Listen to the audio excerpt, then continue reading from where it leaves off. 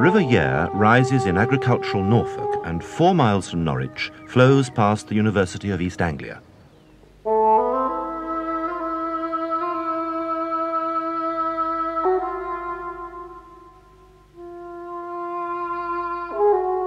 On Tuesday, the 14th of April 1978, people began to arrive to celebrate the university's newest extension. It looked like a huge aluminium box, and it encompassed, in the Vice-Chancellor's words, a most magnificent gift.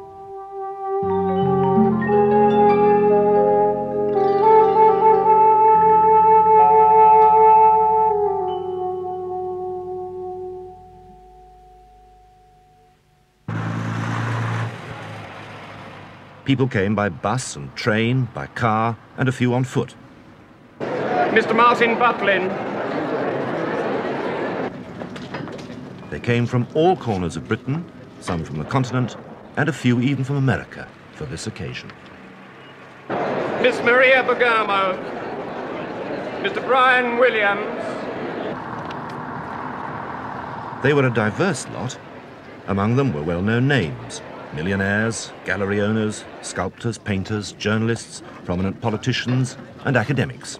Mr. and Mrs. Compton. They came because they all had one thing in common.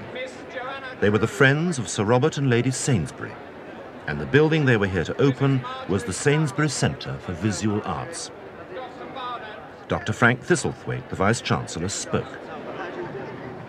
Today is the free or private view for all of us. There are many friends in the enjoyment of the visual arts.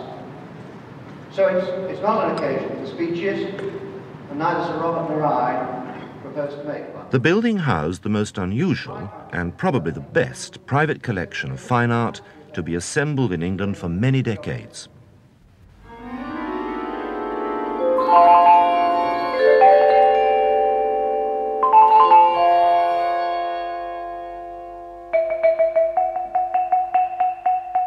It was a collection which had its roots in the private lifestyle of Sir Robert Sainsbury and his wife Lisa. Their house in London was filled almost to overflowing with works of art. Most of them were of impeccable quality. Sir Robert's own room had been specially designed by a Dutch-Indonesian designer, Kho Liang Ie, to blend his art, the books that surrounded them, and his own life. This room is an expression of the Sainsbury's approach to collecting.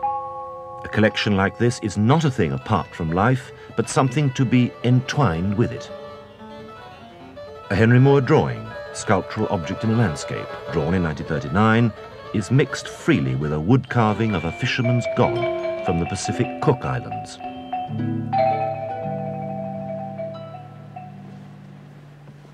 Bob Sainsbury was born in 1906. He was educated at Haileybury and Cambridge and spent his professional life devoted to the family's supermarket business. His spare time, however, has been devoted to the fine arts. He was chairman of the Tate Gallery for four years, but still maintains his own highly personal view on the ownership of art. In my experience, the people who tell you that works of art should always be owned by the state and be in museums where everybody can see them. I always know that such people are not interested in art, because if they were, they would realize that one of the great pleasures of art is being able, if it's an object, to handle it, to be able to alter the angle at which you look at it. In the case of a picture, to be able to look at it at all lights and in all moods. It has always been a characteristic of his to pay minute attention to detail. Yet his approach to art is strictly non-academic. I tend to divide works of art into those I like, that is to say, those that excite me, and those that don't. Reaction to works of art, in my opinion, is unrelated to intelligence or education. It is something one is born with. For over 40 years now, Sir Robert has shared his collecting life with his wife Lisa.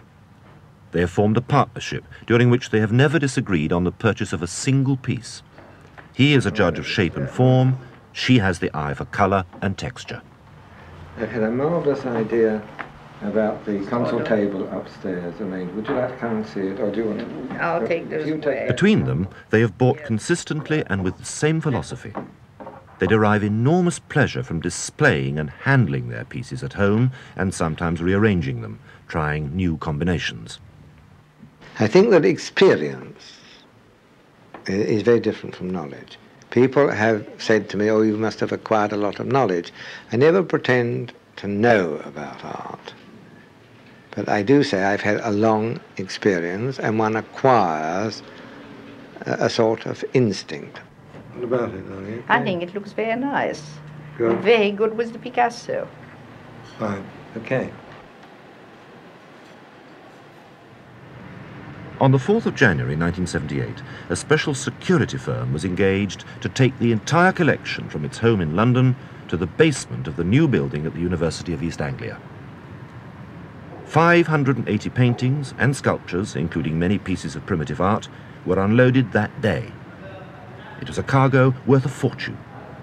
But more important than that, it represented the result of a lifetime's exercise in taste for two people and the creative expressions of many artists, both known and anonymous. The pieces looked incongruous, jumbled in the basement, and the long task of sorting, measuring, and recording began. The Sainsburys had decided to give their entire collection to the university, and with it a building which would house the collection, plus the School of Fine Arts. to the, to the doorway in the glass over there. Yeah. So that's a key connecting route. Yeah. So that's the main traffic. Also The designer was a young architect called Norman Foster. where, you know, His work had gallery would be attracted both the short Sainsburys and the university. scientists would go on a short Foster was better known abroad. Uh-huh. His ideas were considered to be fresh and exciting.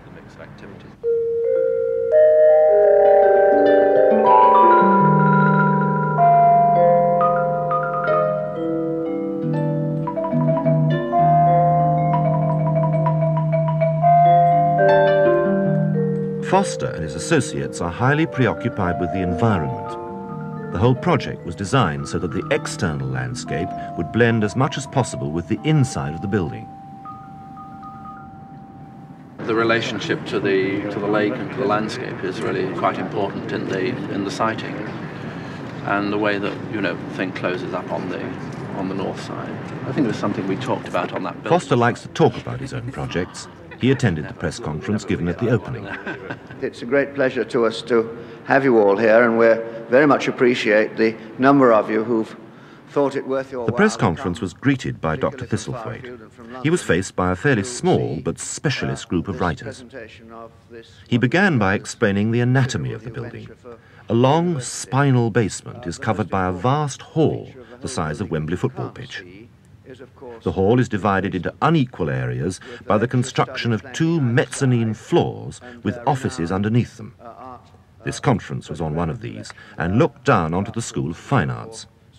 Beyond was the main exhibition area, and behind was the restaurant. Well, now I think that is all by way of geographic explanation, and I would like, having welcomed you here, to invite you to move around in the building and the collection between now and one o'clock, when, if you would like to come back, we will have a press conference here uh, when I shall invite Sir Robert Sainsbury himself uh, and Mr. Norman Foster, the architect, to join me in answering your questions. Uh, my name is Stephen Gardiner of The Observer. How, Sir Robert, did you go about the business of selecting such a good architect? Well, I, shall I say I selected the architect in the same instantaneous way as um, I react to uh, a, a work of art when I see it. I spent two days, uh, amongst other things, two days going round uh, looking at certain buildings by a variety of architects. And when I got to a certain building, I said, okay, the man who did that is the man for me. And I then made contact the time with the university.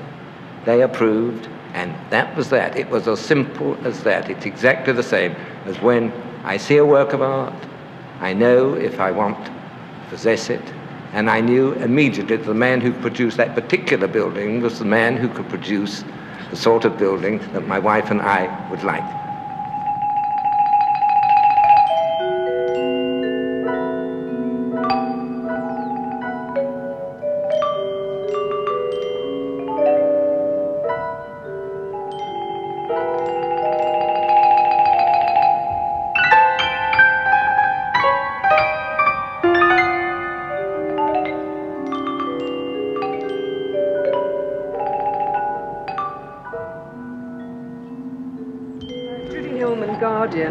I was wondering whether Sir Robert could put into words how he felt about this building as a work of art or as a building. Somebody who uh, knows both the building very well and the collection extremely well said, Bob, you do realize, don't you, that the building is the best object in the collection? Well, uh, I'm not only at three quarters true from my point of view, uh, in the sense that I'm often asked which is my favorite work of art, and that, if I may say so, is a bloody silly question. I have no favorite, I, and uh, I know no one to me is the greatest. I think that there are certain works which are greater than others, certain which mean more to me. But I will go along with the unknown gentleman to the extent that I think the building is one of the, the, the greatest works in the collection. Um, what I feel about it is, is quite simple. And I know this sounds, what I'm going to say, extremely arrogant. But when people say to me, do I like it? The answer is quite simple. It wouldn't be here if my wife and I didn't like it, because we've been in on it from the word go. And I can only say I am very proud indeed to have been associated in a very small way with what I think will be regarded as a very important early work of a great architect. In fact, the Sainsburys were associated in a very big way with the development of the building. It was designed not with a written brief, but came to life as a result of continuous consultation with the university and between the Sainsburys and the architect. They toured Scandinavia and Germany together, comparing notes and ideas on new museums and art galleries. It was a building which evolved rather than was designed.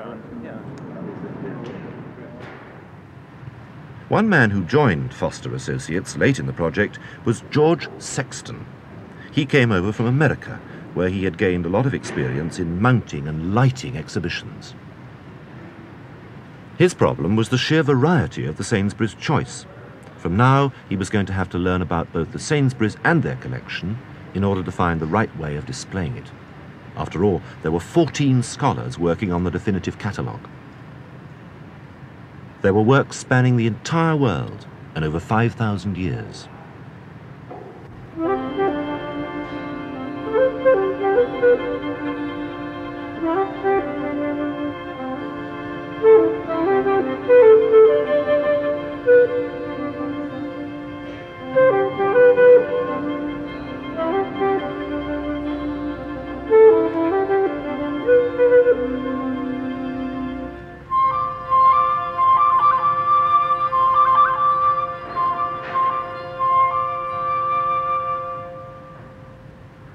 An immense task, and among those who were handling the collection, some pieces quickly became favourites. This Benin bronze head from Nigeria was one. It's a magnificent piece of workmanship from 16th century Africa. On its own, it made the collection famous.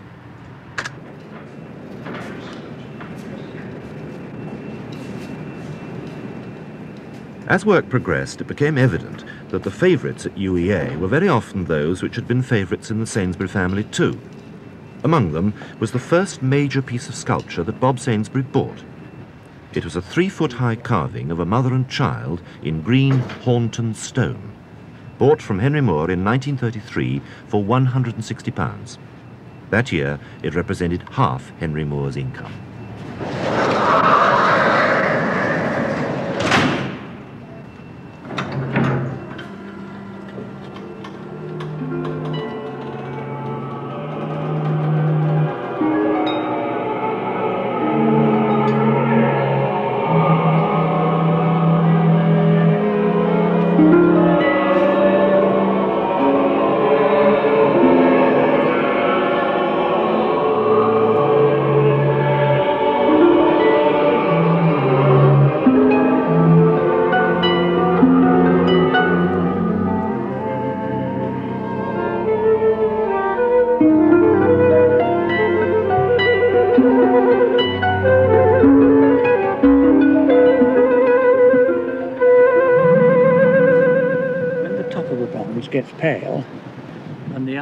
1933, Bob Sainsbury has had a continuous friendship with Henry Moore.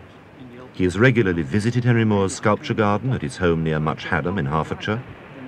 Occasionally, he's bought a piece. But what is more important is that they've held a dialogue which has lasted 45 years, and during which their ideas have matured, each understanding the other as they grew older. something in the world um, has a fundamental meaning for you. I mean, a mother and child uh, idea is the same as the big and the little. And the protection of the, I mean, it's all mixed up. The interior exterior forms that I came to is the mother and child uh, idea. It's the same. Well, even in exterior and in, yes, interior Yes, and interior, exterior. exterior. It's Yes, I the same that. as the uh, one form protecting another one, which is what the mother and the child do.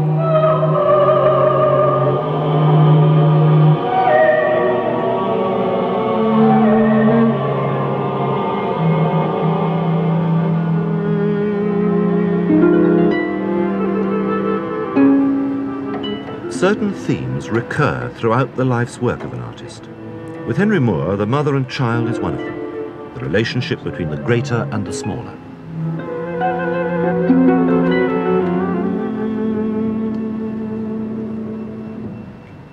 This is one of the marbles. It's experience like this which gives Bob Sainsbury pleasure.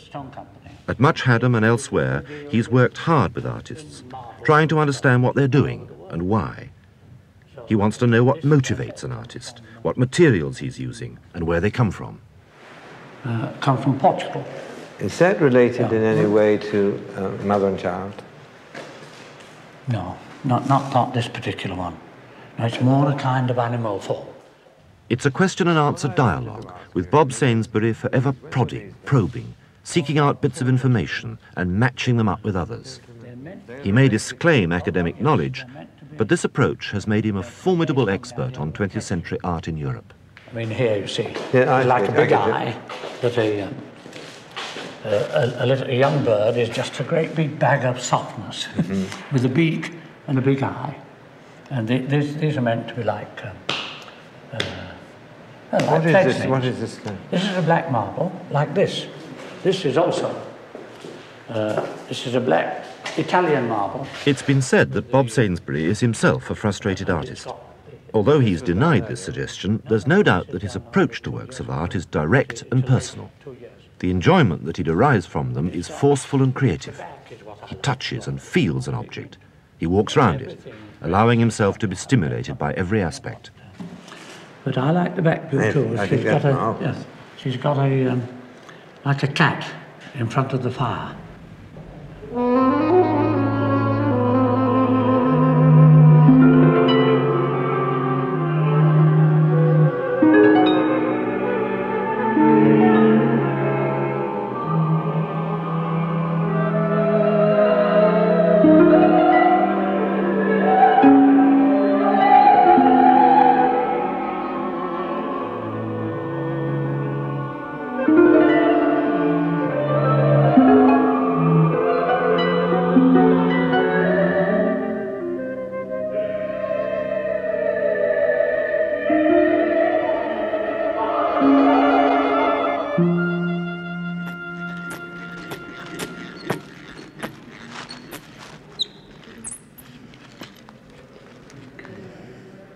The Sainsbury's friendship is not just confined to artists who are already household names.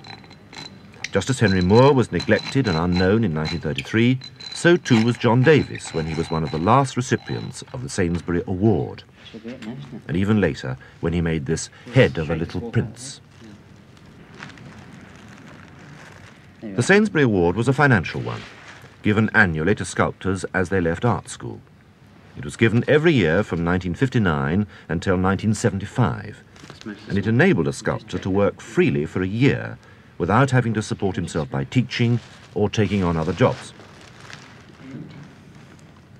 John Davies is among those who were given the award, and like Henry Moore, it was to Bob Sainsbury that he made his first major sale in 1970.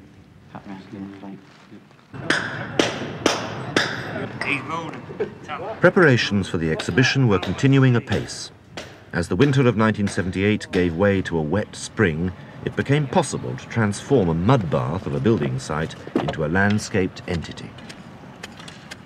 The building was by now completed on the outside, but there was still plenty to do inside. Foster Associates described this as a low-cost, high-technology building. They considered that the on-site craftsman was a thing of the past, and that items like this lift and its glass shaft should be specially designed, made at the factory and merely assembled on site. Nonetheless, being a one-off job, it took some assembling and a very considerable amount of testing.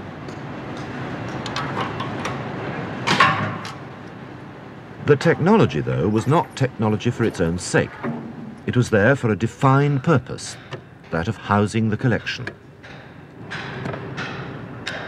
Much of the feeling of the building can be understood when you know that Norman Foster is a keen glider pilot. The high-performance glider is to him a machine of technological perfection mixed with the simplest classical elegance. So it is with his buildings. Are they on, George? Okay. The walls and ceilings are not walls and ceilings in the normal sense. They consist of great lengths of Venetian blinds which line the inside of the building. They are controlled from a central desk, and at the touch of a button they can be adjusted to change the intensity and distribution of natural light entering the building.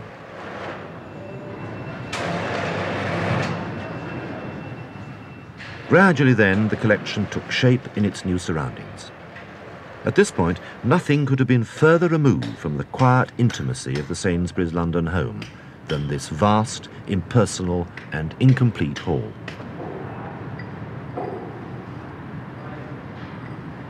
At this stage, the final result, the transformation of private into public, was still only in the minds of those who were working on it. And some still said it would never be ready in time.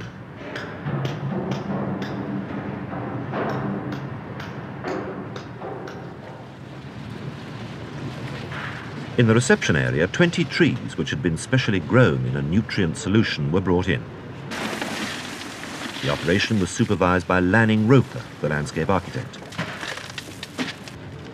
It was all part of the attempt to mix the outside landscape with the inside environment.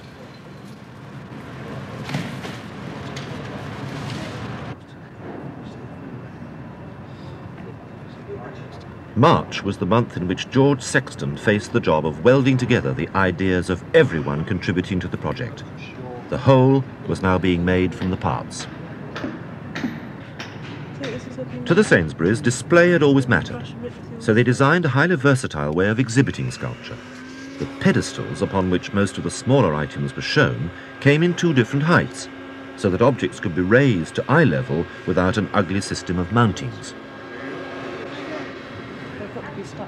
Meanwhile, in another part of the building, the School of Fine Arts and Music began to move its collection of 90,000 slides and nearly twice as many photographic prints into its new quarters. This was the first real contact that the university had had with the new building. And it was from the university that there came voices of dissent and misgiving about the whole project. How much was it costing? Was it really needed? Who was paying for what?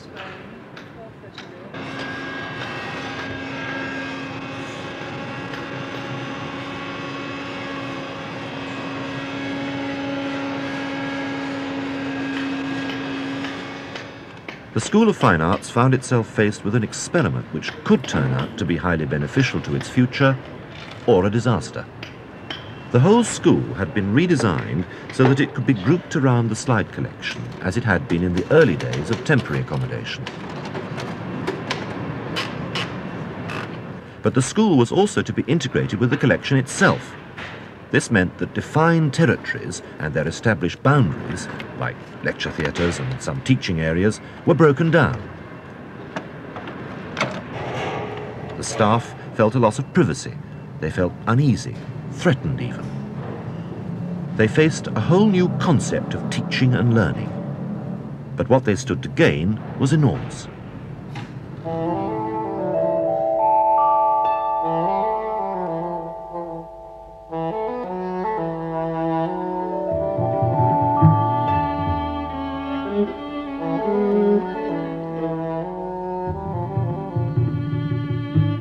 Just as a theme may recur in the work of a single artist, so there are themes and repetitions in Robert and Lisa Sainsbury's collection. Almost all of it is figurative, variations on the human form.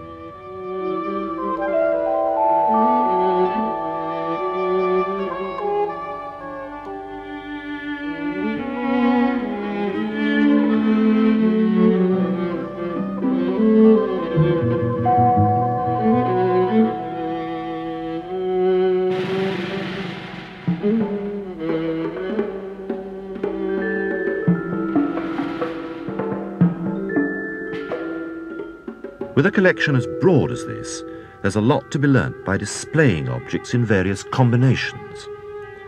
Its arrival, for the students at least, would mean a substantial change of outlook.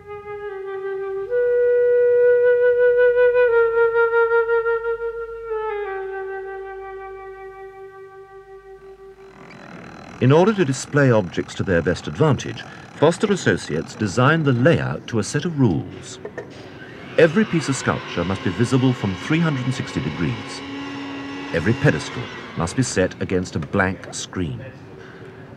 Whether it's a life-size sculpture like John Davies's Bucket Man, or a tiny Cycladic head an inch and three quarters high, each piece must be displayed so that it stands on its own and is not lost in this vast building.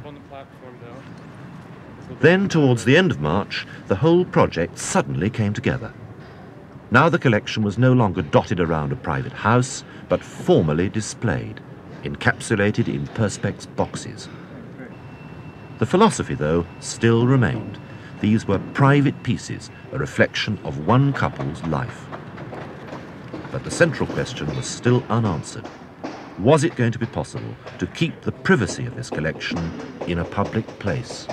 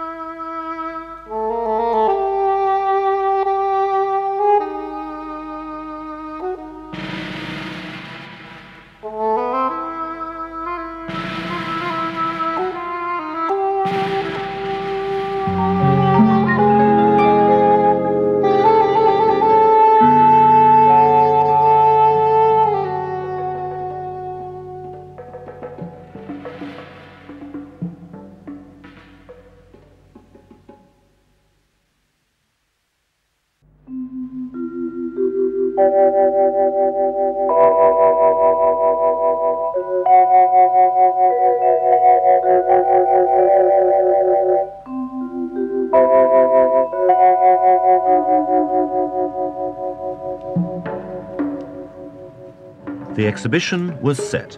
There remained only one task, and that was to light it. Lighting is a vital and integral part of the Sainsbury Centre. By day, there is control over natural light, but 675 special effects lights were brought in to augment this. A special gantry was designed above the exhibition area so that lights could be moved without disturbing events below.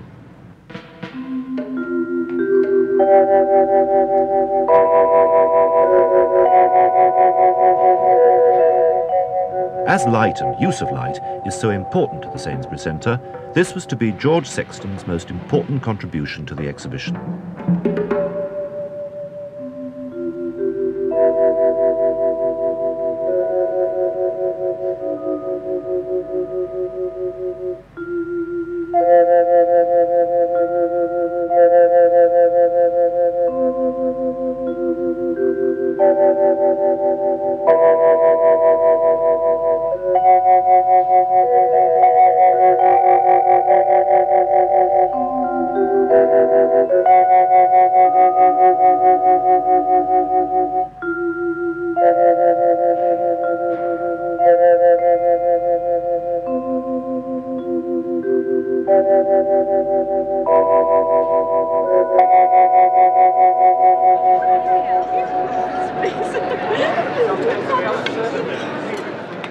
Tuesday, the 4th of April. 332 guests at the Sainsbury's had arrived for the private view. The university had probably never entertained on such a scale. And in the new restaurant, the catering staff were plunged straight into the deep end. It was a spread to tickle many a sophisticated palate, and it was all done without rehearsal. Today was the day the entire building was thrown into use for the first time. The Sainsburys remained outwardly unperturbed, but for the moment any thoughts of the gift and the collection were overshadowed by the sheer impact of playing host and hostess to nearly 350 people. For the Sainsburys and their guests alike, it was for the moment a pure celebration. In the crowd there were familiar faces from the past and new friendships to make. It was a party. Melee was a hubbub of anticipation, enthusiasm, and an exchange of ideas. There were experts who had come to see for themselves.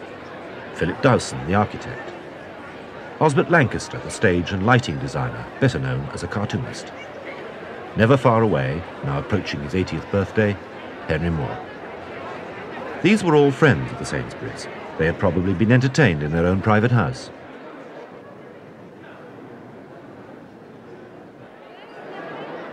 But this was the big occasion, and for some perhaps a bit daunting.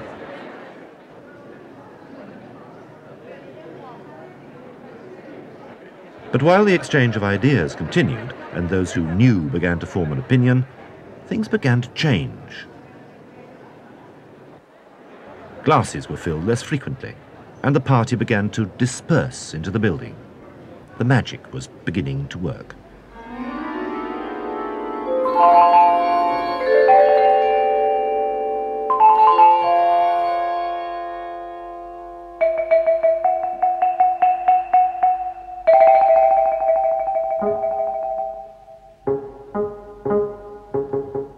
As people moved from the reception area and became distributed among the collection, they began to absorb some of what the Sainsburys and Foster had been working for. Now they were living and moving freely, flanked by sculpture and canvases. They could walk or talk and be distracted by an object of beauty or a painting whenever they wished.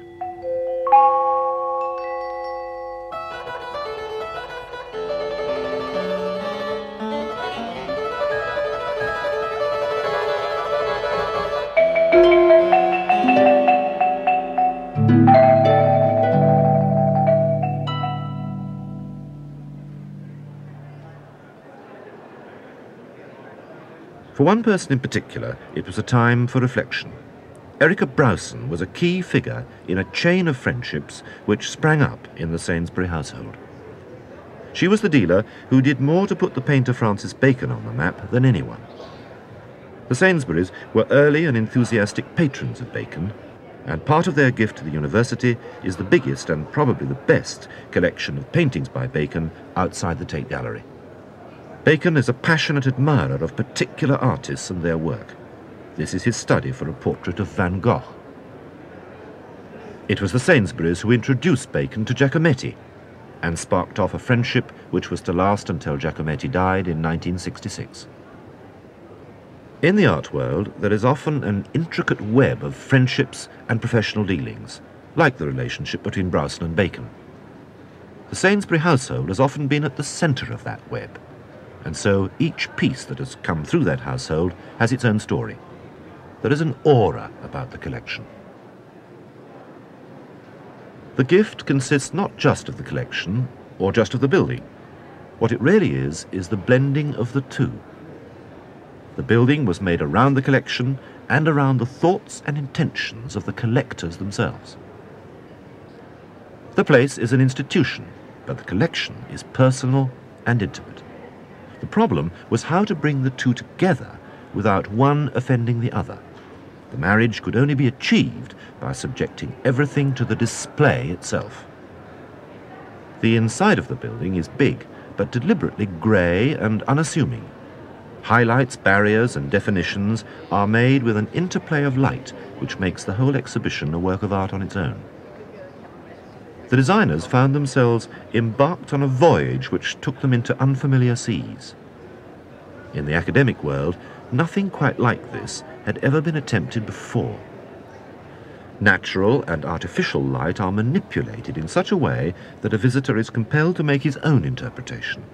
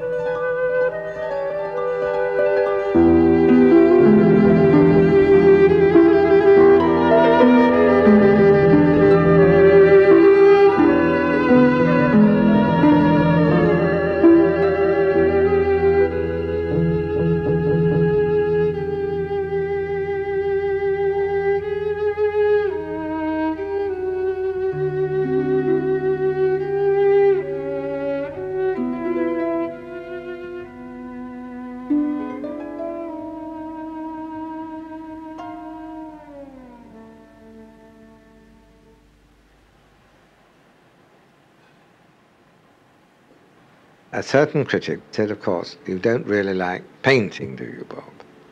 You like Modigliani because they are the paintings of someone who also sculpted. My wife always says that with, for example, Giacometti, I never found any difficulty. I looked at it and liked it. And when people said how peculiar, I didn't understand what they meant. I found nothing peculiar. It was all perfectly and natural to me. I think the only way I can explain it is that I, I tend to look at all art from a formal point of view, and above all, a non intellectual point of view.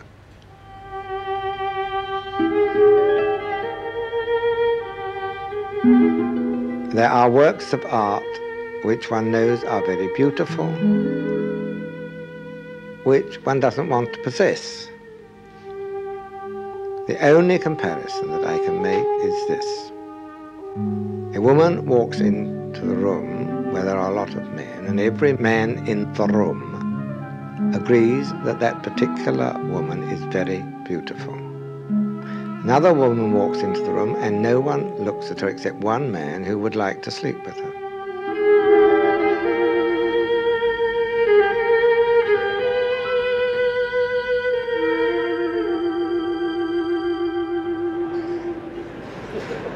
Collection is very, very personal. I mean, to say what's in it, what's not in it, uh, the actual choice of cultures to collect, and the choice of things within those cultures, those are all clearly the results of personal decision. That the, making the collection has been a form of creativity, almost as much as painting a picture, that it's painting a self-portrait. That the reason you get Francis Bacon side by side with Benin art is that two people's sensibilities respond in that way. And I think uh, that in turn, the building, unexpected as it is, is a very personal expression not only of emotions about art, but of ideas about education, which are held by the donors.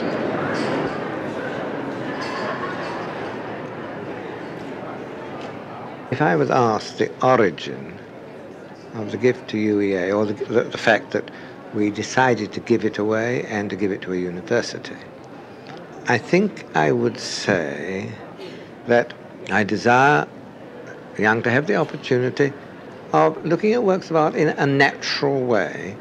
I suppose one could put it that I would like some young people to have the same opportunities as my own children of growing up in an atmosphere in which there are works of art. Sir Robert had set himself an extraordinarily difficult task. Because of their unerring choice, he and his wife had amassed a collection which, though private, was admired by international authorities. So inevitably, the giving of it to the University of East Anglia was a gesture to be compared with Fitzwilliam, Ashmole, and Courtauld. UEA was now in the big league. But if the intimacy of growing up in an atmosphere of fine art was to be preserved, could UEA also cope with the public acclaim? One hopes that lots of people will come and see it because it is one of the most magnificent gifts made this century, I should think, without any question. I would say that it's, that it's a very rare collection uh, on the one hand, And that the combination of that collection with this building is a very rare thing. I would say that that together makes it into one of the, well, what should one say, five or six uh, most interesting museum buildings of the last decade internationally. Um, a bit frightened when I when I went in because um, the building was very alien. I'm not used to seeing the Sainsbury objects in that sort of setting, but the colour, the, the light as it came through onto the sculptures and paintings was so very beautiful, so um, pearly grey and without harsh contrasts and so on. That immediately one one felt this is the most delightful place to be in, even on a very dull and miserable morning. I was a little frightened by the size of that building. It looked as, as though we were going to find a Concorde inside it or something like that. And remembering how small and delicate and beautiful are the major part of uh, Robert Sainsbury's collection, uh, I wondered how the scale of these little things would fit into such an enormous building. But uh, once one got into it and got settled down into it, I, that didn't worry me any longer because I think it's chiefly because the quality of those exhibits is so extraordinary. It's so high and everything could be seen individually without any trouble with things around it. You could see it in the round, get round the sculpture and, and see it beautifully in that way. Uh, I had been very frightened about it. I had felt that um, the need for security and the need for having some kind of formal display would perhaps steal some sort of goodness out of the objects, you know, that a, a little Greek Cycladic figure that looked very intimate and special in a, in a small room in Smith Square would suddenly break up under the strain and become an anonymous thing that uh, had no connection with the past or the present.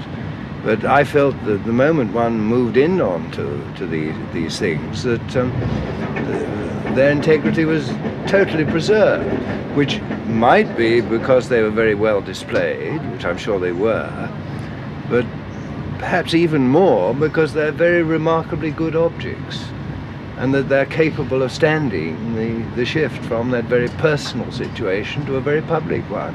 And I think possibly this is almost a, an objective way of, of um, congratulating Bob on, on what he's chosen, because I think anything that had been near rubbish would literally have broken up under the strain of that, that degree of display. Bob Sainsbury uh, has never pretended to be an art historian. He's bought things individually because he loves them or because uh, they, they've taken his fancy for one reason or another. And because of that, he's followed his own bent and he's, he's bought with uh, great insight and uh, I think usually with great success and right, right from the earliest times right up to people working now. So from that point of view, it, it's, uh, it's a wonderful range for any student to be able to see in actuality. The opening had taken place during the Easter vacation. As soon as the university came back for the summer term, the School of Fine Arts and Music began to settle into its new quarters. The centre provided an entirely new study area, less formidable than the library or seminar rooms. It became a kind of common room for serious activities, rubbing shoulders with fine art and the slide collection. Among the voices of dissent, the first to die were those from the School of Fine Arts. Very soon, the students became used to a more informal way of learning in their revolutionary new building. These painted portraits, as they survived. Um, during the Roman period, it became conventional to replace those heads with these flat painted portraits. So you have here the interesting thing of a rather live-looking um, youth who was quite indubitably dead when the portrait was actually painted. Well, what would this be painted in? It's a wax encaustic technique. The study of fine arts is one of comparison and analysis. Slides, books, pictures, and now the real thing. The more you have to see and handle, the more progress you make towards understanding what it is that gives a work of art quality. Mixed with the formidable library of books and prints, the Sainsbury Centre will surely have a considerable impact on the university itself. I think it should fulfill the university's needs very well because what I missed when I was a student, and I went to Oxford where the opportunities were much greater than, than they are normally, for example, at a new university like this one, uh, was the when I began to get interested in art, I missed the intimate contact with it, even in the Ashmolean. Well, where I think the students here are terrifically lucky is that understanding art is particularly sculpture, which this collection is about sculpture, not about painting, uh, is, is handling things, being very close to them, of, of being able to, to feel the form as well as just to see it. And I think that they're offered an opportunity and I suspect because the opportunity is so great, uh, they're going to make very good use of it, that they're going to find all sorts of powers in themselves, the students here, which they didn't know they possessed. I expect to find a very strong department growing up, simply because uh, the setting is so conducive, it's so well planned to that end. It's very sculpted on both sides. Both sides are exactly the same. Nothing would give Robert and Lisa Sainsbury more pleasure than to see these first-year students handling this Mexican greenstone head, which was bought for the collection several months after the building was opened. These eyes and these earrings would have been filled with gemstones. Yeah. It might have been set into... While they're speculating on the origins of an individual piece, a university lecture is being conducted in a public area of a public building. What is happening at UEA is a logical progression of a lifetime's effort.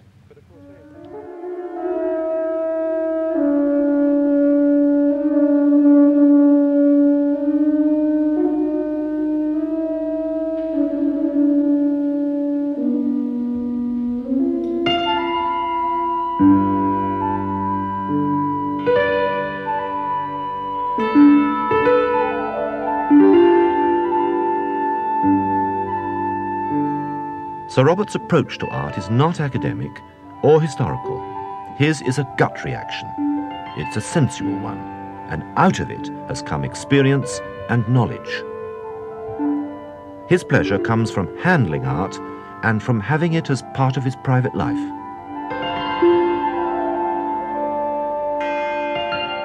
What he has given the University of East Anglia is not just a collection and a building, but a whole philosophy as well. Bye.